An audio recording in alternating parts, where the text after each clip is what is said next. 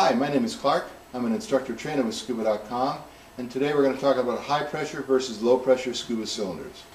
Now scuba diving tanks or cylinders allow the diver to have his or her own source of air while underwater. Scuba tanks are a cylinder container made from steel or aluminum. Scuba tanks hold different amount of air so it's vital to select the right volume scuba tank as different sizes are made for different purposes. Although an aluminum tank may seem the way to go, it's not always the case. Most aluminum tanks have a positive buoyancy factor near the end of the dive. Steel tanks allow the diver to reduce the amount of weight carried. In general, most scuba divers start with the basic aluminum tank because of their price difference.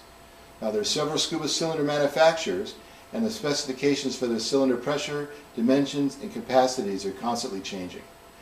Divers can choose between scuba cylinders manufactured from aluminum or steel. Now cylinder pressures span a wide range, but the most common pressures are low from 2400 to 2650 psi's, standard 3000 psi's, high 3300 to 3500 psi's, and really high the 106 cubic foot aluminum hoop wrap tank rated at 4350 psi's. They are available in a huge selection of capacities as a primary dive supply ranging from 50 cubic feet to 130 cubic feet. Now every diver, how a tank looks is also as important as what type of tank they're buying. And the cylinder coatings fall into three general classifications. It's either painted, it's galvanized, or it's uncoated or unfinished. A cylinder subjected to an average of one fill a day or more is considered a cylinder subjected to high use.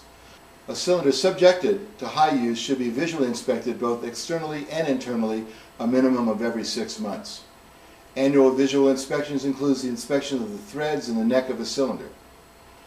Thread neck inspections can only be performed with a valve removed from the cylinder and all foreign material, i.e. dirt, corrosion, etc., removed from the O-ring gland and the threads. Thread and neck inspection is performed visually with the aid of a light source and a two times dental mirror and can be supported by the use of an eddy current thread inspecting device. Hydrostatic inspection is required once every five years and is mandated by the Department of Transportation, or DOT, and must be performed by a sanctioned DOT inspection facility. If you have any questions about high pressure or low pressure cylinders, or you're looking to buy one, please give one of our certified instructors a call at 1-800 34 Scuba, and remember, we're here for you.